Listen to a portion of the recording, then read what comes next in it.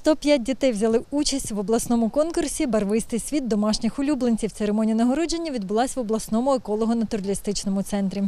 Відео про домашніх улюбленців на щорічний конкурс виставку надсилає щоразу більше дітей з різних куточків Волині. Виставка, яка е, є єдиною в Україні, проводиться на теренах Волині вже 12-й рік поспіль.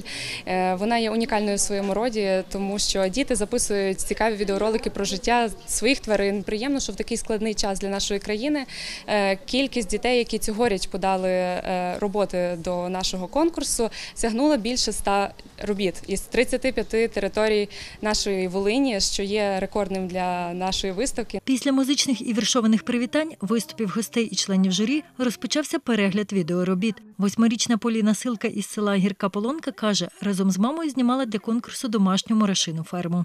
Мурашки мене стоять в моїй кімнаті, і я за ними люблю доглядати. Є лабіринтики в тій фермі. В них в кожному лабіринтику, в кожній кімнаті щось складено. В одній кімнаті їжа, в другій сміття, в третій там іще щось. Десятирічна Емілія Бідзюра з міста Володимир каже, на нагородження свою улюбленицю Ребеку не взяла, але на виставці побачила подібних тваринок. У мене є кроличка Ребека, вона повністю білого кольору та з голубими очима. На цих кроликів вона подібна тільки без плямок. Мої кролички є досить велика клітка. Це папуги нерозлучники. Їх називають так, тому що саме краще їм почувається, коли вони разом. Вони дуже люблять один одного. Коли самка відкладає яйця, самець може її підмінити, поки дівчинка полетить поїсти. Але бувають ще інші папуги.